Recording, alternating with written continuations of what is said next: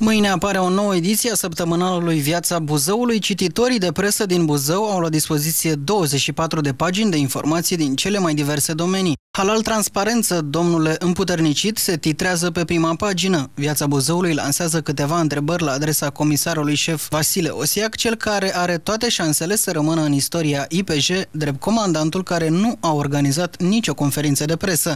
Vești cât se poate de proaste privind momentul deschiderii noii maternități, mai aflați și ce sume figurau în contractul de închiriere a aparaturii medicale încheiat de fosta conducere a județului pentru inaugurarea din iunie. Buzoinii mai sunt informați despre salariile celor care administrează societățile subordonate primăriei, cine este noul director de la Protecția Copilului și că urmează o schimbare și la conducerea Spitalului Județean. Viața Buzăului publică o analiză a rezultatelor la bacalaureat, precum și măsurile anunțate de conducerea educației față de profesorii care nu au luat definitivatul.